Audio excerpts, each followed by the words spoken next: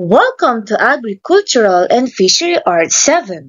Today, we will tackle the Week 6 Poultry and Livestock Materials, Tools and Equipment, and their uses based on industry standards. Poultry Housing and Materials Poultry housing, a shelter provided to feathered animals to protect them from the harsh environmental climatic conditions that can affect chickens' growth, performance, and productivity. We have types of poultry houses. First, the free range of extensive poultry house system. The oldest type of poultry housing, where a small number of birds or chickens are reared. 10 to 12 birds per family of farmers. Free-range poultry housing requires less capital investment to construct. Second, the semi-intensive poultry housing. It is common type of housing among small-scale poultry farmers. This system of poultry rearing is partly free-range and partly intensive. It is more economical use of land in comparison to the free-range system. Third, the folding units housing. This type of housing system, poultry rearing is the same as that of a semi-intensive system. Here a poultry house followed by a run, where the whole area of the run is enclosed by wire nettings and the space requirement is less and the total poultry unit can be shifted from one place to another. Fourth, intensive system housing the most efficient, convenient, and economical system for modern poultry production with huge numbers. Commercial poultry is supplied in this poultry housing system. We have types of intensive poultry housing. First, the deep litter system, a widely used by successful poultry raisers, known for other terms as chicken coop. The floor of the chicken house with beddings or good litter materials. A good litter material for your poultry farm could be straw, sawdust, or leaves to the depth 2 to 3 inches. There is easy access to feed, water, and egg collection. Second, the slated or the wire floor poultry system. Poultry house can be constructed on treated wooden piers 0.8 to 1 meter above the ground. This system allows a lot of ventilation into the house and is easy for removing chicken droppings.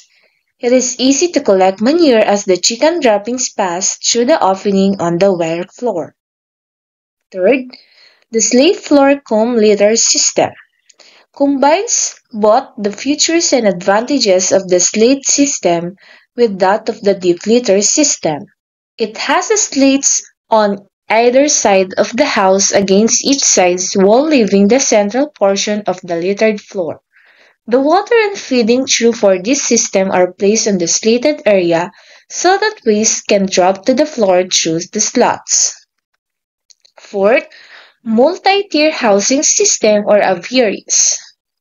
It is considered the best non-cage alternative to cage system for large-scale egg production.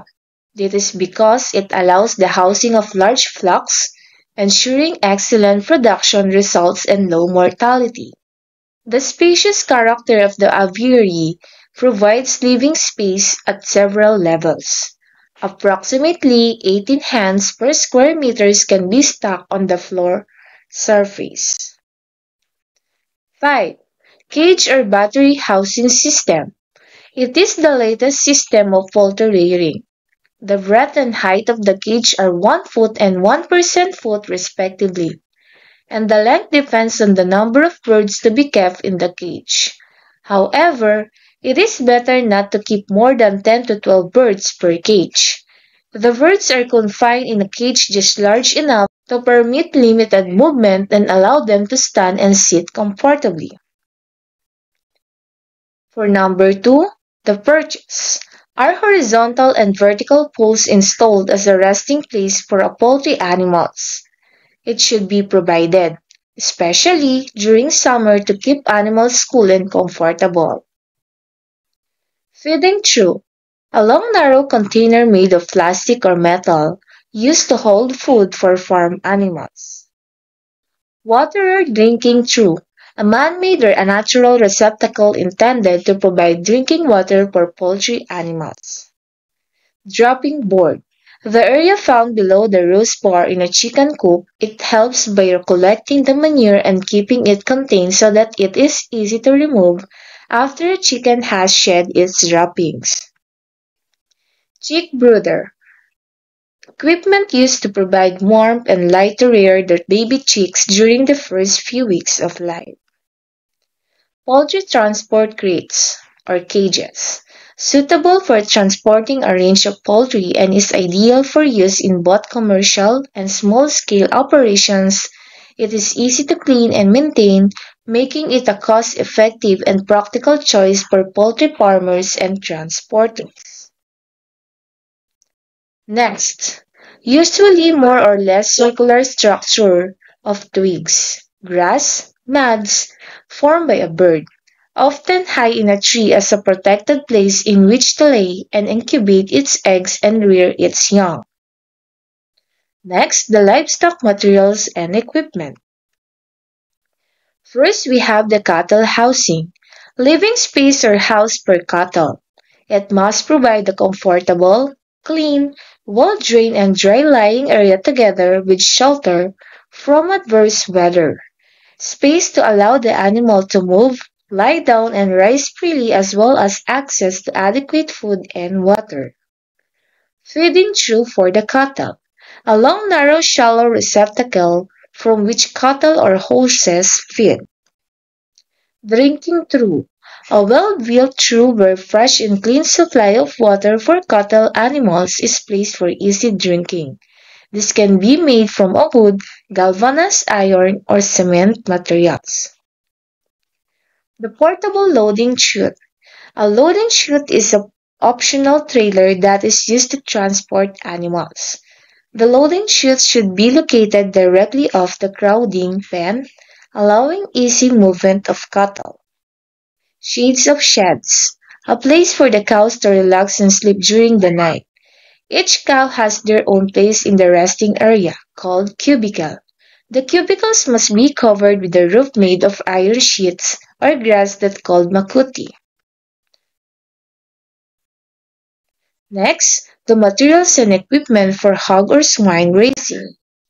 Swine housing, designed to protect pigs and give them the most ideal environment for growth and production. The pig feeding trough. This sheep feeder Trough can be composition in the center of the pig barns so that pigs can take feed from all directions. Swine waterer. Modern pipe water system within buildings and pig farms provide pigs with continuous access to drinking water and on many farms are also used for short periods to medicate growing pigs with antibiotics to help keep them healthy and productive. The hog wallow adds comfort to the hogs during hot weather. If properly used, this may improve growth rate of growing swine. That's the end of our lesson for today. Thank you for watching. Don't forget to like and share, subscribe, and hit the bell button.